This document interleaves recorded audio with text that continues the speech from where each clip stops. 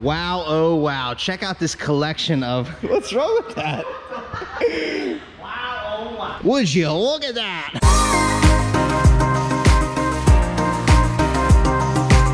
What is going on everybody? Welcome back to the channel and welcome back to a beautiful day here in Pennsylvania. It's about 90 degrees right now, but that is my kind of weather. That's exactly where I want it to be. I wanted to show you our next project. I'm sure you saw it in the thumbnail by now. We do have Sam's 2020 Denali. If you didn't know, Sam is the owner of Lime Ridge Automotive. They sell a ton of awesome diesel trucks. One of the biggest used diesel truck dealers around. They kind of have a niche where they sell trucks that look like this, kind of done up and just looking really good in terms of some nice aesthetic mods. Almost all of their trucks have some type of modification done to it. They honestly don't sell too many stock looking trucks. A lot of the trucks they get look just like this. We are doing a bunch of stuff to this truck right here. Sam and I were back and forth and basically the goal here is to do a complete whiteout on this truck. We are going to take pretty much all the black textured and black pieces all over the truck. We're gonna paint that frost white tri-coat just like this. If you didn't know, this is pearl paint. You look at it in the sun, you'll catch some of that flake in the paint there. And so that's definitely gonna be a little bit more challenging than just if it was a standard white. But as you can see, Sam already does have a couple little pieces painted on it. To be perfectly honest with you, we are gonna redo them because they honestly don't look too good. There's a lot of orange peel and texture that they left in the plastic. So we wanna go ahead and take all those and smooth them all out. Also back in here, the paint is all cracked from whoever painted it, I guess didn't use the right paint and it's just not sticking well to this plastic. So let me go over exactly what we are gonna do. We're gonna do a full color match on the lower valance. We're gonna do a color match all inside the black plastics there. We're gonna color match these little pieces of black plastic in the fog lights. I think we're gonna go with color matching the black behind the chrome here just to kind of set it off a little bit. We're gonna redo this emblem because that is just vinyl tape. We're also gonna go in here and paint inside this hood scoop. We're gonna color match the black in there. We're gonna do a color match on these badges. So right inside this black here is, is gonna get painted to match the truck. And then the mirrors are gonna get smoothed and painted as well. We have to get these all taken apart like we usually do. All in here is gonna get done. And then we're gonna leave all the chrome accents going around. As I said,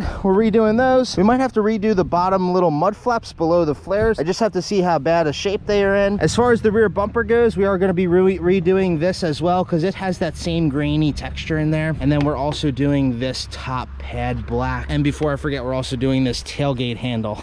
so it's really actually a lot of stuff. Like I said, just about everything that's black on the truck is going white. If you follow me on Instagram, we did a 2018 Denali, very similar to this in white pearl. We did a very similar job where we took away all the black texture and made everything smoothed out, painted to match the truck. So this is kind of going to be like the big brother to that truck on my Instagram. Anyways, without further ado, let's get this truck inside so we can get it all taken apart and get started on it.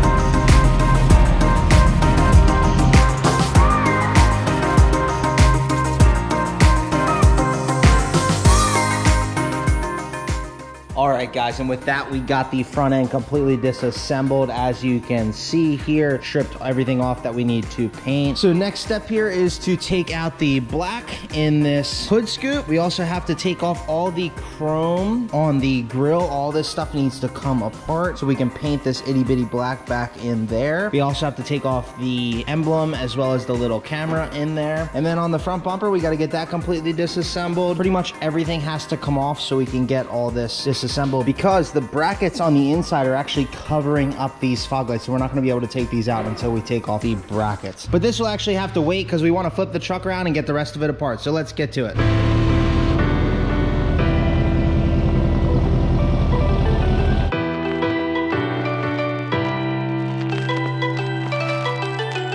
Right, guys, so we got the back half disassembled here. Corey is just gonna work on popping off these mud flaps. I know I said earlier that I wasn't 100% sure on if I wanted to paint them, but after looking at them, they are grainy textured plastic, a little bit of black in there, like it wasn't even painted. We're definitely gonna redo those. We want them to look just like the factory does right there. As you can see, that does not look like that, so we're gonna make it look like those. We were kind of sitting here talking about the technology in these trucks, just in the rear bumper and the tailgate handle here. It's honestly more of a huge button. This thing right here had four wires on it. One wire right up top there for the MultiPro tailgate, one wire on the bottom for the normal tailgate, the camera wire, and I guess the light wire, I believe that's a little light right there. But it's just crazy how much technology is kind of packed into something this small, and it probably also increases the price of the part if this was to ever break. We do have to take out all those little buttons and stuff, so we're gonna work on that when we do the rest of the disassembly. Even in the rear bumper here, between the hitch, now having these two options for the accessory cameras in the trailer. Now we have one, two, three. We have a large junction box that goes behind the tag. That has two wires on it. And then we had a normal wire that ran for your tag lights. It's just crazy. And, and honestly, trucks have just come such a long way in 2020 here now that we have all this technology. I guess that's also what you pay for when you're buying an $80,000 truck. So let's continue with the disassembly on this truck right now.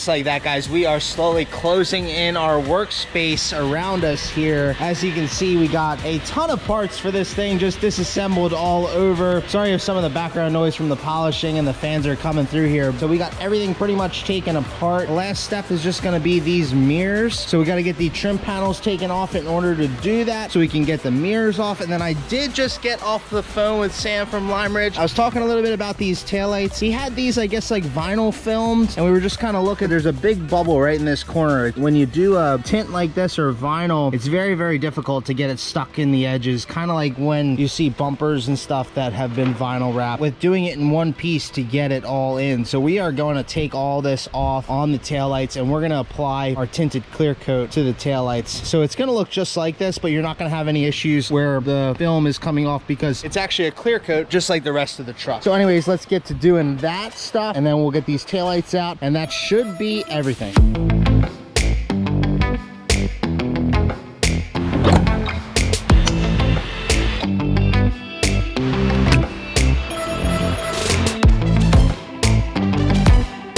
With that, ladies and gentlemen, we are all done with the disassembly off of the truck. This is what a 2020 looks like with pretty much everything taken off. Bumpers, grill, hood scoop, side badges, mirrors, bed steps, mud flaps off the bottom, rear bumper, tailgate handle, and the taillight. That is good news for sure. We pretty much don't need the truck anymore. At this point, we primarily just have to work with all the parts that are sitting right in there. I did want to also show you guys what the door looks like after the mirror is pulled off. A lot of people talk about deleting these and then putting in stock mirrors up here. That would be extremely difficult. These doors are actually aluminum. You would actually have to have a piece of aluminum made that is just this size and then weld it in and then pretty much fill that over. And in doing so, then you would have to paint the entire door and then blend the paint into the fender to make it look right. And then after all that, pop off this cap and figure out how you can drill holes into the door and hope that the moldings and stuff like that are all the same. To be honest, it would just be a ton of work. Oh, and I should also mention the wiring in there too. The wire is only a certain length. It's meant to go right there. Figuring out how to get it up here. Honestly, the work, I think to the benefit, it's not a good ratio. I think that when these mirrors are color matched, they honestly look really good in my opinion. So that's just what we're gonna do here. I talked a little bit earlier about the price of this truck, probably an $80,000 truck just off the top of my head, being a Denali, but I wanted to show you something and it's honestly, it's just becoming more common the more that we go through and, and find this stuff. Let me take you back into one of the pieces. I want to show you what we found. Here is the side badge that we pulled off because like I said earlier, we have to paint that black in there and just kind of over a quick glance here, flipped it over and dun dun dun dun. There it is, made in China. GM stamp too. It's an original OEM part, just made in China. Prime example, $80,000 truck,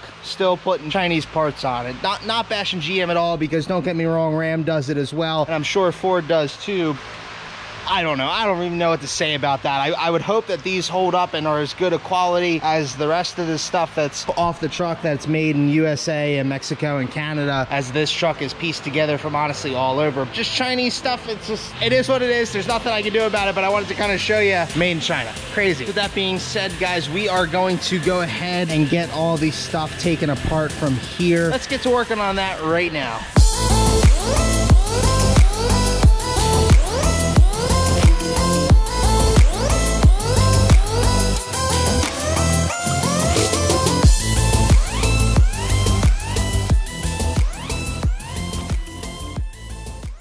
Oh wow. Check out this collection of, what's wrong with that? Would you look at that? We got everything disassembled here, guys. Check out the amount of stuff that we are doing to this truck. I mean, literally just about out the door of parts here. As you can see, all the black texture is what we're actually painting, but we actually have to also redo the white. We got all the white pulled off as you saw earlier because whoever painted this last left all the texture in the parts. And honestly, that's just not acceptable here. There's no way that we can do that. All this stuff is going to get redone pretty much up to our standards, I should say. We got to get it all cleaned off. As you can see, there's a good bit of dirt and mud and stuff in here. I mean, the paint is literally just cracking off. It's pretty sad that there is shops out there that'll do this stuff and charge you for it and then expect that, you know, you'd be happy with it it's just pretty sad. But anyways, yeah, keep walking around here. I'm not 100% sure if I know what I got myself into when I did this. This is quite a big job, as you can see, just by the stuff laying out. So we still have to get the mirrors apart. We still have to get all this tint taken off the taillights. I showed you guys earlier that this is vinyl. There, it's kind of peeling up in there, and so we got to peel all that off yet. Corey is working on getting these emblems apart. As you can see, he is drilling them out. He has to do that to break the factory plastic weld so this is what it looks like when it's all taken apart. We have to do this in order to paint because there's no way to get inside and mask all that up. So we have to take it apart just like this. He still has to do the side badges. He's gonna do the same thing, drill those all out. Let's get to working on that. And then we're also gonna get the mirrors apart like I said. So let's do that right now.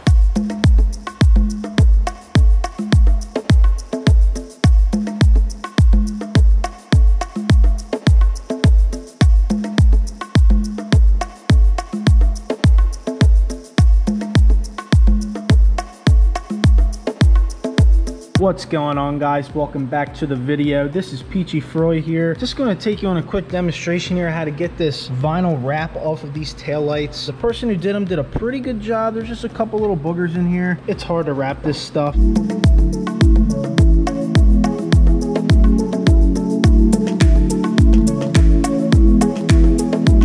Ladies and gentlemen, it is a good day because we have finally finished all the disassembly work for this job, which is always good news. So as you just saw, we got the 2020 mirrors taken apart as far as they can go into their corresponding pieces. This is gonna make it a lot easier to paint this way. It's almost impossible to paint it the other way and still get a quality job because all this right in this area here, that's all not even visible unless you fold the mirror out. It's definitely the only option to take it apart this far so that way everything can get smooth and also painted. Oh, actually, just realized I didn't take that light out. I gotta do that. Just, just one little more thing. Also, guys, we got the taillight tint off. As you can see, that peeled off pretty nicely. There's a little bit of adhesive residue that we need to take off yet, but that's not a big deal. We'll just get some solvent on that. And then these guys will just need to get sanded and prepped. Same way that all this other stuff is getting prepped. We actually started on a couple pieces already, started to kind of sand out the pieces that were already painted. But as you can see, we still have a good bit of of pile here left that needs to go white pearl. But before I wrap up this video, guys, I did want to show you one of our projects here. This is a 1986 Toyota pickup truck. We are doing a full restoration on this truck at pretty much everything except for the motor and the interior we are going to restore. As you can see, it's already taken apart a little bit. The bed's right over here. I am filming this project. You will see it in the upcoming videos, but this kind of gives you a little sneak peek as to where we are with it. I won't be releasing that for another couple of weeks, so make sure you stay tuned for that. For today's video, guys, that is where I'm gonna have to wrap it up. So I hope you enjoyed. Please make sure you like the video, subscribe to the channel, hit that bell icon for further notifications, and we will see you guys in the next upload.